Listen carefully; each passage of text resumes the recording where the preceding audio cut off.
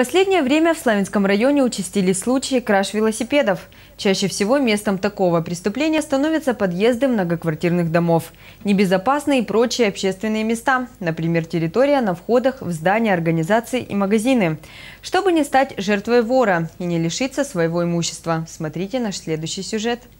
1 августа в дежурную часть отдела МВД России по Славянскому району обратился житель нашего города. Он сообщил, что неизвестный из подъезда многоквартирного дома совершил кражу велосипеда марки «Стелс Навигатор 510» стоимостью 10 тысяч рублей. Обнаружив пропажу, владелец двухколесного транспортного средства обратился в полицию. 2 августа с утра на утреннем разводе нам довели данную ориентировку по факту кражи велосипеда и его приметы.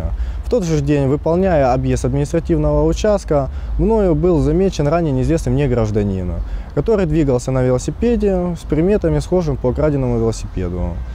Увидев сотрудников полиции, гражданин ускорился и попытался скрыться, но после недолгого преследования был задержан. Им оказался 21-летний ранее судимый за кражу житель Славянского района. Под лестничной площадкой был велосипед скоростной «Стелс» черно-зеленый. Я его видел там несколько раз, когда был у девушки. И вчера надо было на работу, мне его взял, чтобы съездить на работу. В дальнейшем я его хотел поставить обратно, но сегодня меня сотрудники полиции поймали на нем.